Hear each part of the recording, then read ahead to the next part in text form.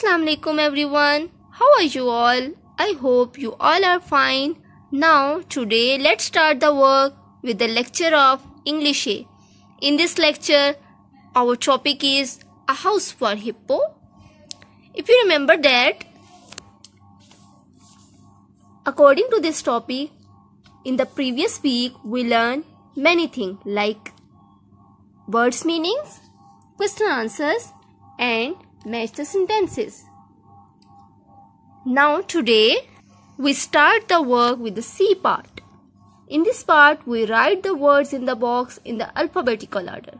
इस पार्ट में हमने करना ये है कि जो हमें वर्ड्स दिए गए हैं बॉक्स में जैसे whole strong tree rabbit big went इन वर्ड्स को हमने यहाँ लिखना है अल्फाबेटिकल ऑर्डर के मुताबिक यानी ए बी सी सीक्वेंस में जो ए बी सी सीक्वेंस में होती है, उसके मुताबिक हमने पढ़ना है। जैसे कि पहला क्या, पहले क्या आता है? ए ए का तो यहाँ पे कोई वर्ड स्टार्ट नहीं होता। सो आफ्टर ए ए के बाद क्या आता है? B so we have to write here B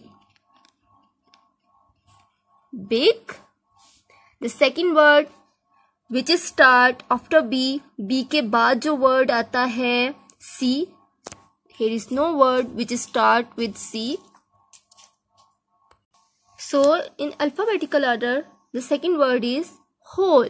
We have to write here whole. H. O. L. E. Whole. After whole यानी आफ्टर एच एच के बाद क्या आता है?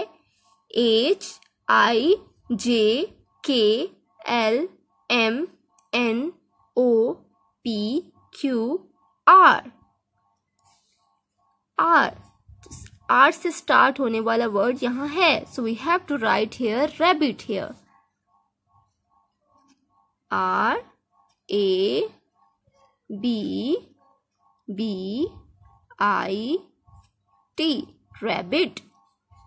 The next word after rabbit is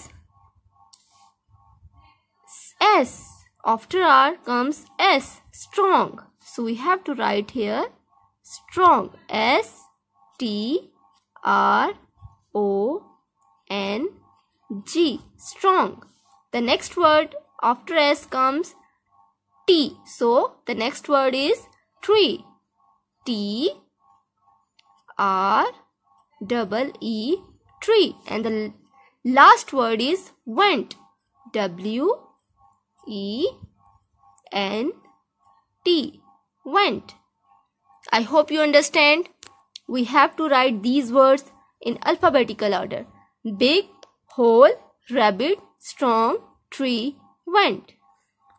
Now second, we start D part. In this part, we use N with words beginning with A, E, I, O, U. हमने an use करना है उन words के साथ जो जिसमें लेटर्स आते हैं स्टार्टिंग वाले लेटर्स आते हैं A E I O U इन लेटर्स के साथ हमने एन का यूज़ करना है।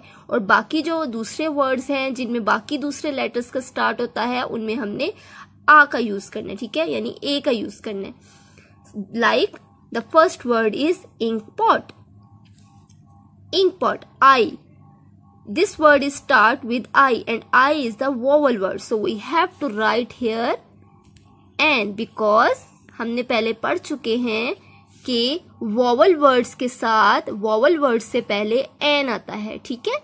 बाकी जो वर्ड्स होते हैं, उनके साथ आ लगता है, लेकिन जो वॉवल वर्ड्स से स्टार्ट हुए गए वर्ड्स होते हैं, वो उनके साथ एन लगता है, ठीक है?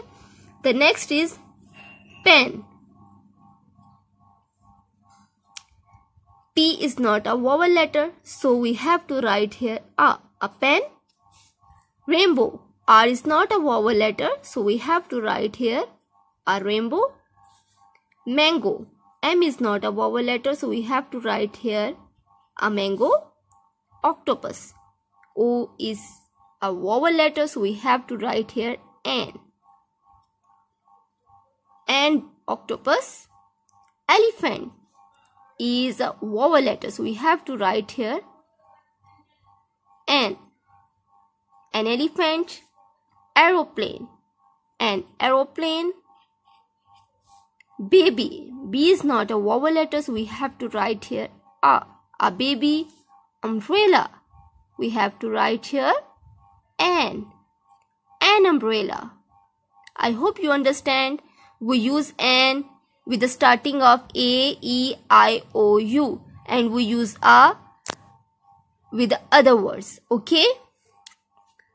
If you clearly understand it, you repeat it again and again to understand it. Thank you. Now today I will give you the homework.